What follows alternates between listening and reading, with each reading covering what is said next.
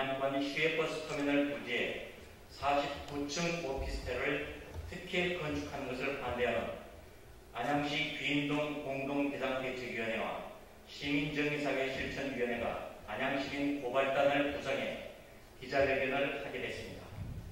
지금부터 기자회견문을 발표하도록 하겠습니다.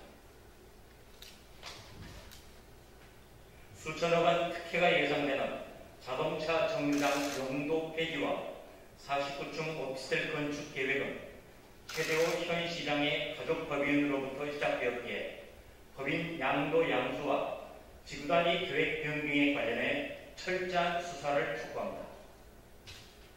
최대호 안양시장 재직 시절인 2014년에 안양시와 LH는 평촌 시외버스 터미널 부지 용도 변경과 관련해 수차례 공문을 주고받았습니다.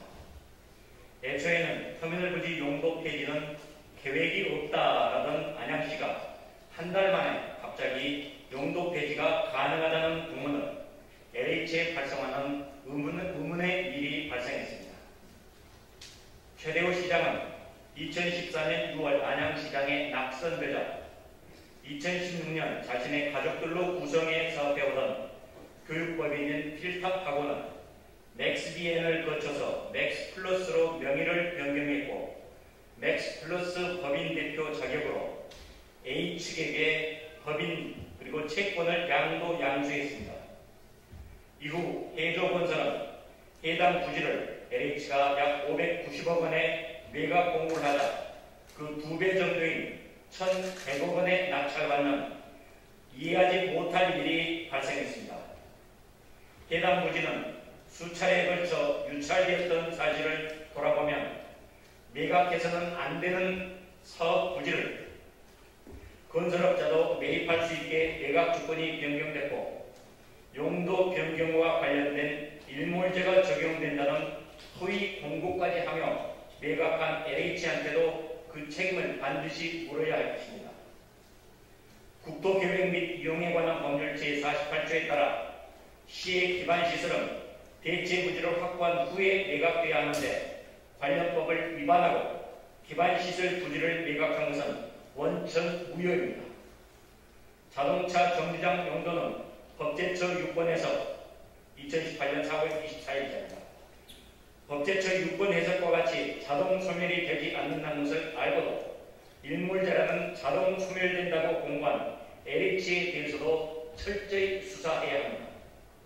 최대호 시장은 당시 자신의 가족법인 대표로 법인 양도 양수라는 형태로 법인을 변경하기 위해 미리 건설업과 부동산 임대업 등을 법인 용도에 추가해 주식가치 1원이라며 액면가 1억 원의 주식을 20만 원에 양도하고 차용자금 출처가 불분명한 53억 원 채권이 있다며 6억 원에 현, 현 해조건설 대표인 A씨에게 양도한 것으로 해서 해조건설로 법인 명이 변경됐습니다.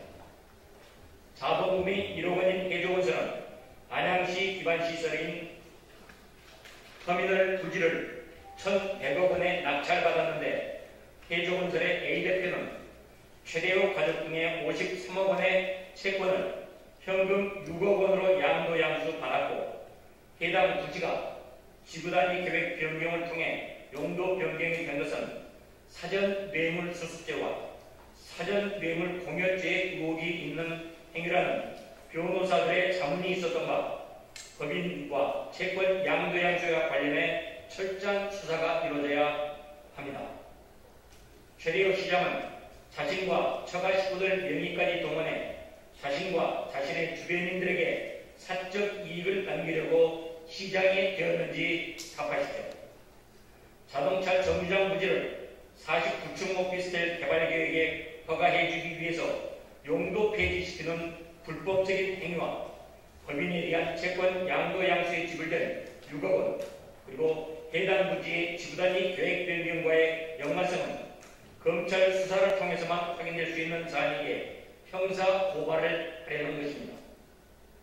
이에 우리는 그동안 안양 시민 고발단을 결성해 시민의 힘으로 공익과 정의를 바로 세우고자 현 최대호 안양시장을 사전 뇌물 수뢰죄 및 업무상 배임죄로 해조건설 A 대표는 사전 뇌물 공여죄로 대검에 고발함을 천명하고자 합니다. 우리 안양시민 고발단은 다음과 같이 요구합니다. 하나, 최대호 시장에 대해서 철저히 수사해 엄중한 법의 심판을 촉구합니다.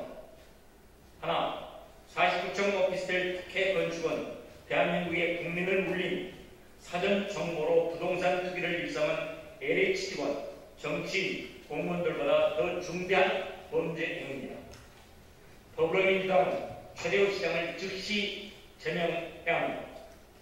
하나, 평천시의 버스터미널 용도 폐지는 대체 부지 확보 없이 진행된 바 원천 무효이므로 즉시 원상 회복시켜야 합니다.